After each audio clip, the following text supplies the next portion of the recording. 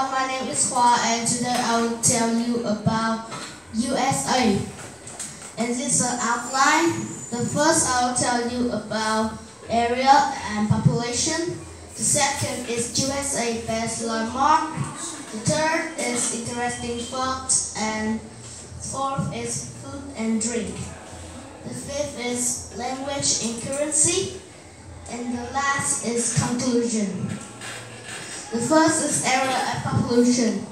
USA is a very large and crowded country. USA area is over 9 million square kilometers and it has two, 293,000 people.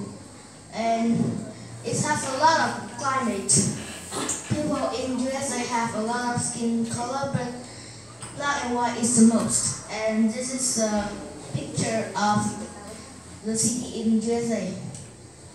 The second is USA's landmark. This is the Golden Gate Bridge, and this is a picture of it in the sunset time. It was both the longest and the tallest suspension bridge in the world a main span of 4,200 feet and a total height of 746 feet. And it's very beautiful in sunset time. Here, you can see it's very beautiful and it's almost red. Red. And the interesting fact see here, this is the USA current 50 star American flag and it was designed by 17 years old boy as a school project in 1958. It's got a B on the left is the picture of it, you see it?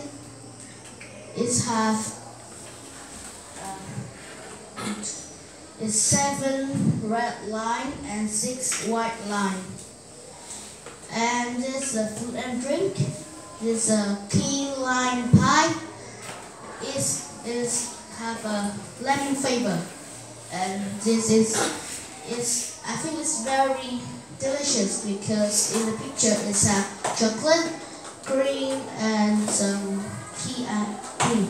And this uh, drink this macro brewery beer and it's made by two and this is hot blackberry hot root beer and hot grape soda. So it, language and currency.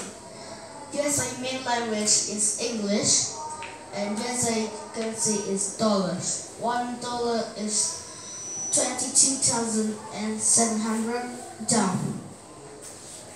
So, thank you for listening. Any question?